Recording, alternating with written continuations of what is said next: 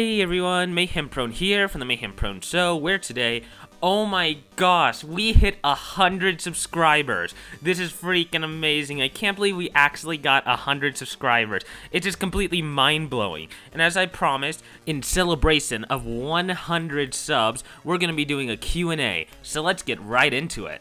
So to start this thing off, Sharingan asked, what's your favorite childhood movie or shows you grew up with? Now, I'm not sure if any of you are going to remember the show, but does anybody remember Fetch with Ruff Ruffman? That show was literally my childhood. I love that show. That was so fun.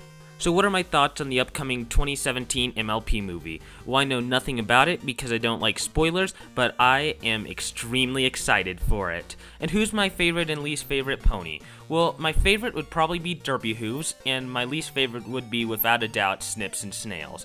And have I ever collected any pony merch?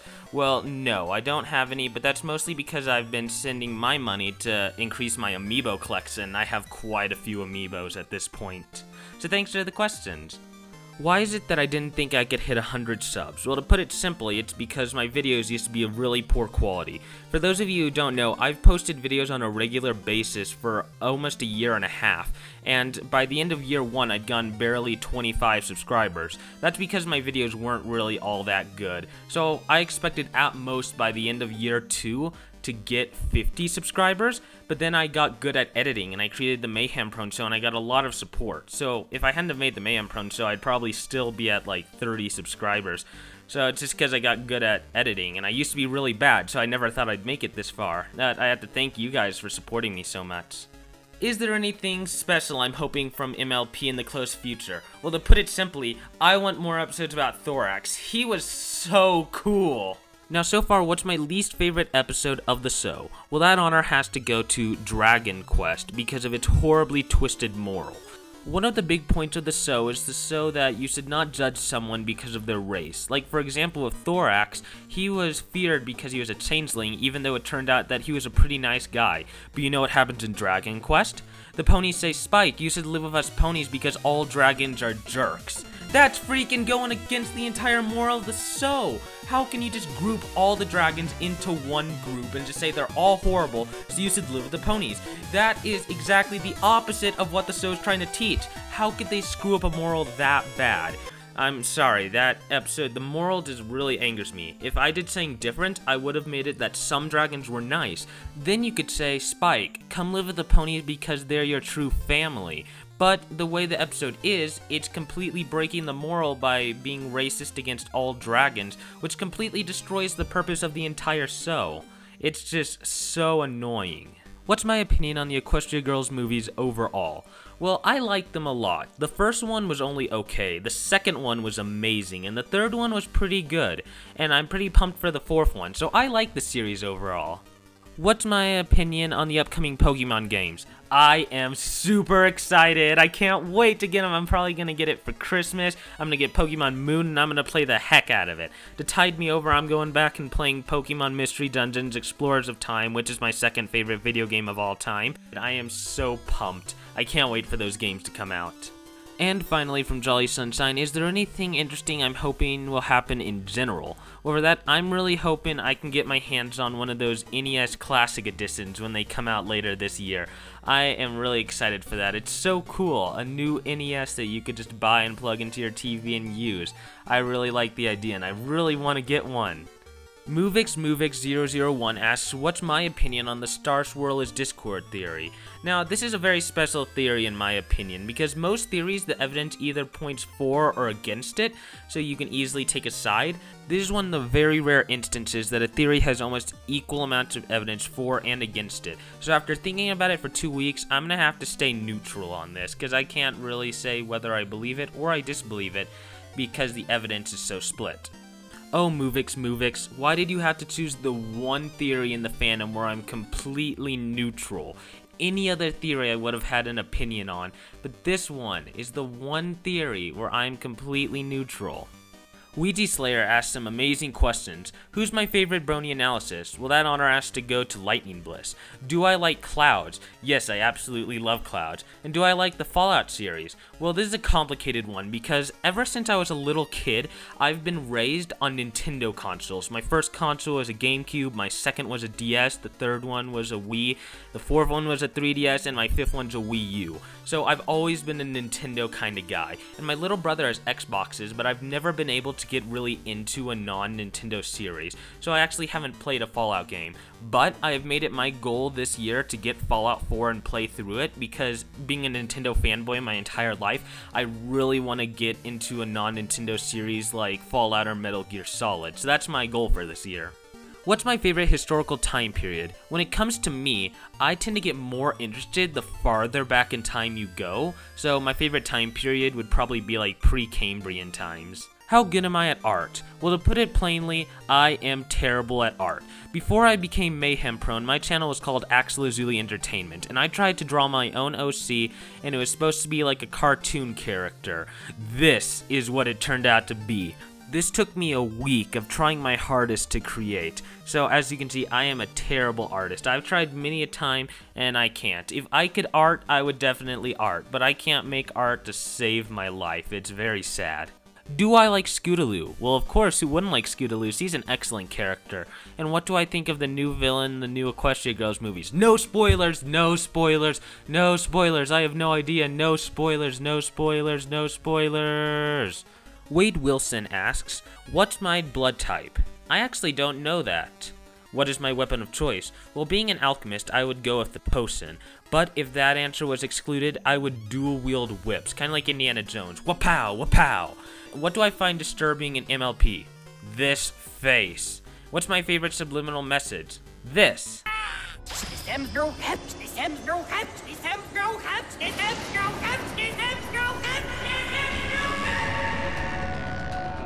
If one of the main six turned out to be evil all along and was just faking to be their friend, how would you react?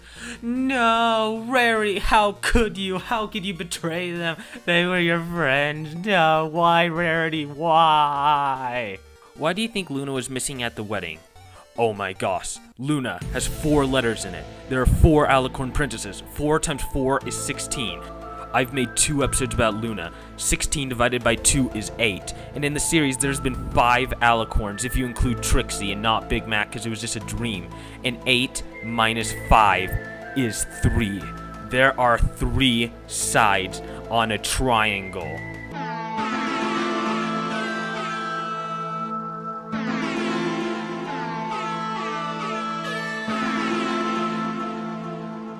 Lonely Fanboy asks, what's my thoughts on the Ed and Eddy episode Exaggerate? Well, honestly, as a kid, I rarely watched Ed and Eddy. I found it boring as a child, so I rarely ever watched it, so I don't really know the episode. What was the first video game I ever played? Well, I can vividly remember my first time ever playing LEGO Star Wars 1 for the GameCube. It was so fun and I love it. The LEGO Star Wars games are so fun. And yeah, that was my first ever video game. What's my favorite song from the Equestria Girls movies? Well, it has to be. Oh, oh, oh, oh, oh, unleash the magic, unleash the magic. I'm sorry you guys had to hear that, I couldn't help myself. Do I think that My Little Pony Generation 4 will end when the movie comes out? And to that, I'm not sure. It seems like Season 6 isn't getting nearly as much publicity as the last 5 seasons, so the show may be going downhill. It seems like viewership is down. But will the show end exactly when the movie comes out? I doubt it. It may happen the same year, but right when the movie comes out, I don't think that would be the cause for the series to end. And once again, my favorite character in MLP is Derpy Hooves, and I checked out your rants. They're very good, you have many good points. Though I do think a better editing software would severely improve your videos, but for what it was done with, I think you did a very good job. Nightstar asks, what's my real name? Well, duh, it's Mayhem Prone. It says in the title of the show, duh. Wink. What are my favorite and least favorite episodes in the show? Well, I've already said my least favorite is Dragon Quest, but when it comes to my favorite, that's a much more complicated subject, because there's so many episodes I love, and I'm really not sure what my favorite is. I'm gonna have to watch through the series again to come up with a definitive answer, but since you asked the question, I'm just gonna say Bats, because in my opinion, that's the most memorable episode in the show. but I'll have to put in some deep thought to think what my true favorite is, but I'll probably make a top 10 best episodes of MLP someday in the future. How do I feel about shipping? Well, that's a complicated subject, but my basic opinion on it is that shipping is perfectly fine as long as you know that it is imaginary and most likely not canon to the show. If you get angry at someone because they don't like your ship, you know that the ship's gone too far. For example, I've pointed out several times in my videos that I ship my character of Derpy Hooves, and that's perfectly okay, except it almost stopped me from making last week's episode. Why is this? Well, in last week's episode, I talk about if Derpy Hooves had a husband, and at first that kind of annoyed me because I shipped my character of her, and I realized the ship was blinding me and I couldn't allow that to happen, so I stopped it and I made the episode. Hashtag Mayhem Hooves. And as I said earlier, I think the best Brony analyzer is Lightning Bliss. And how far will I go in my channel? Well, I'm going to go as far as physically possible. I don't want to stop anytime soon. Making weekly posts is a lot more difficult now that school's back in session, but I'm going to try to post as often as possible, and I can almost guarantee I'll have a video out every two weeks at minimum. And who do I think would win the fight, an alicorn or a dragon? Well, to me, there's no question it would definitely be the alicorn. Why? Because in Dragonshy, Fluttershy defeated a dragon single-handedly, and she's just a Pegasus, he's not even an alicorn, so an alicorn could easily take a dragon down. If I have Pokemon Go, which team am I in? Well, that's simple. Team Valor! Who is my favorite character from The Walking Dead? Well, I'm gonna be honest, I've never seen The Walking Dead. What kind of name do I think they're to give the changeling? Well, I think I'm to put my money on Thorax, but that's just because the episode's already aired. Do I think that Sunburst somehow traveled to the past and became Star Swirl the Bearded? Now, this actually makes a lot of sense. The physical similarities are very noticeable, but I don't really think this is possible considering the fact that Sunburst isn't very good at magic despite having a huge knowledge of it, so I think that kind of disqualifies him. Which do I think is better, Digimon or Pokemon? Now, once again, I actually haven't watched Digimon before or played any of the games. Wow, I just realized that there's a lot of shows that are really good that I'm missing out on. So I'm just to have to go with Pokemon for right now. And what kind of character do I want in the show? Now, what I would really like to see in the show is the Pinkie Pie clones come back. Like maybe one Pinkie Pie clone, maybe this one that we saw in Shadow Row Review, but because of their life outside of Ponyville, the personality has changed. Maybe the Pinkie Pie clone is like a super smart intellect working at a university. Something like that, seeing Pinkie Pie go down a completely different path personality-wise. Bin Bin TSM asked me, did I expect everyone to give me at least six questions? And no, I did not expect that, but it's awesome. So many cool questions to answer. And our final comment of the day comes from DJ Silverwing, who asked, Who's my favorite analyzer from the Rift Cafe and how would I rate them? And I've already established that this is Lightning Bliss, but for rating, I would definitely have to give her a 10 out of 10 because not only is she a good voice actor for her character, she's also an amazing editor. Like most amazing stuff you see from that community was edited by Lightning Bliss. She's excellent. Do I think that Toon Critic will win against cartoons in hashtag the end? Well, here's a story. Literally right after I answered Nightstar's question about shipping, I decided to take a 15 minute break so I could cool down. So I booted up YouTube, and literally as I booted up YouTube, he released The End. And I was so excited, all my money was on Toon Critic winning. And that twist ending, though, that is dramatic. I wonder if the conclusion will be released by the time this video's out. But if not, oh my gosh, that twist ending surprised me. I kind of saw it coming from the language, but really seeing it happen was real dramatic. Do I think I can collab with someone? And if so, who would it be? Well, you're in luck. As I said right after I answered the question about shipping, I took a break. Well, right before I answered the question about shipping, I spent two hours collabing with two other gaming channels for some cool gaming videos. I collaborated with Ben Ben TSM, who you'd recognize as the comment I just answered, and another channel called Marley the Killer Bunny. So those cool videos should be coming out any day now. But now that we're on the topic, I have an exciting announcement. I'm starting a second channel. It'll be linked in the description below. It's called More Mayhem. This channel's grown to be about analysis videos and top 10s and stuff like that. So I decided I might still want to do like gaming content and vlogs every now and then.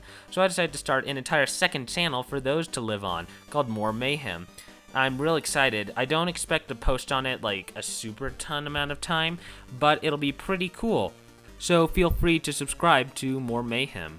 Do I think I can make more theories on TF2 Analysis Anarchy? Well, the answer is yes, but it's a bit more complicated than that. I have to explain that when it comes to making an episode of the Mayhem Prone Show, there's one step that's a lot harder than the others, and that is coming up with the concept for the episode coming up with a theory every week is very difficult, and it's by far the most difficult part of the process. And since TF2 is only about 25 episodes long, it makes it especially difficult to come up with theories for it. But the Finn is Evil theory is one of my best theories I've ever made, and it was super fun to make, so I hope I can make something like it soon in the future but I have to, of course, come up with the idea, and that's a lot easier said than done. So I'm watching each episode as closely as I can. I'm trying to come up with another theory, but until then, I'm gonna keep working on it. And for the final question of the day, the one that I specifically left for last because it has the longest explanation, what is the origin of my OC? So gather around, Fillies and Gentlecolts, for the story of Mayhem Prone. I started out as just a little colt in school who had no idea where I belonged, until one fateful day. Our school decided to bring in a magician to perform a show for us, and it completely blew my mind. The magician's magic was so amazing, that day I declared that I would someday be a magician.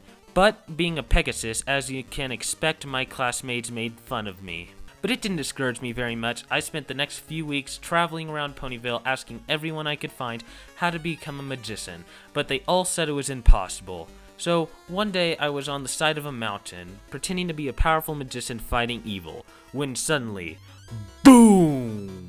A giant multicolored explosion shook me as it exploded right over my head with a blue Pegasus flying out of it. As you may expect, I later learned that this was Rainbow Dash's first sonic rainboom, but at the time, it completely blew my mind. From that day, I was 100% convinced that any Pegasus could learn to do magic. And with that being said, I spent the next several months looking through the Golden Oak Library, trying desperately to find a book that would teach me how to do magic. So I looked and I looked and I looked, and eventually I came upon a very obscure small bookshelf hidden underneath a set of stairs. Now, since it was so hidden, most of these books looked like they hadn't been touched in years. So I looked through them and I didn't have any luck. But I decided to stick my hoof way back behind the books to see if any were hidden back there. And surprisingly, I actually found a book that was completely hidden from sight by the others. It was an old dusty textbook called A Basic Guide to Alchemy. I instantly took it home and started studying. Now, from what I'd heard, alchemy was a somewhat taboo art in Equestria, so I kept it secret. But I studied and I studied and I studied, and I experimented with little bits of items that I was able to get from other ponies in Ponyville. They all thought I was just using it for games and stuff, but I was testing out many different varieties of basic potions. One day I was working on one of the most advanced potions in the book, a sparkler potion. This is kind of like, you know, on New Year's Eve, those sparklers that shoot out sparkles when you light them up. It was kind of like that, it shot sparkles everywhere. And the recipe required a pinch of gunpowder. Now, as you could probably tell, when I was applying the pinch of gunpowder in, I accidentally slipped and dropped the entire container in. And long story short, this blew a hole in the side of our house. Now, this is pretty bad, but some good came out of it. I gained my cutie mark, which is a flask with the symbol of mayhem inside of it, representing the exploding potion. So now my love of alchemy was public, but since I had my cutie mark in it, there's not anything anyone could really do. But that textbook could only really teach me so much. So one day I snuck into the Everfree Forest to get a sample of what now today is my favorite ingredient of all time, extract of poison joke. And as you can expect, being a little cold in the Everfree Forest, I got into trouble pretty quickly, and I probably would have been a goner if it hadn't have been for Zecora, who came in and saved me. At first he was confused at why I was out there, but then she saw my cutie mark, and then she decided to do something really nice. She took me underneath her metaphorical wing and decided to teach me in the ways of ancient alchemy. And since at the time Zecora was an outcast, these lessons were kept top secret, but after several years of learning, I became Ponyville's local alchemist. But even today, I still strive for many goals. The main one is discovering the recipe of an ancient potion called the Alicorn Brew. The recipe to this magical concoction is said to have been lost over a thousand years ago, but it is said that whoever consumed it would permanently become an alicorn with no negative side effects. And for many years, I've strived to recreate it. But that still leaves one open question. Why is it that I have a dragon wing? Well, this was actually answered in my 50 subscriber special. In that video, I decided to, on camera, try an experimental version of the alicorn brew that I had created in my alchemical lab. And as you notice, it did not turn me into an alicorn, but it did give me this dragon wing, which is pretty cool, because I think Spike was getting annoyed of me always having to borrow his scales. So now if I ever need dragon scales for a potion, I can just get them from my own wing. But I'm not giving up. I'm currently developing another experimental version of the Alicorn Brew, which will hopefully be ready by the time I hit my next subscriber special. And that is the story of Mayhem Prone. Well, that's it for the Q&A, but once again, I have to thank all of you for getting us to 100 subscribers. It's so amazing, and I can never thank you guys enough. Hopefully, I'll be able to make you guys many more amazing videos in the future. And until next time, I'm Mayhem Prone from the Mayhem Prone Show, and goodbye!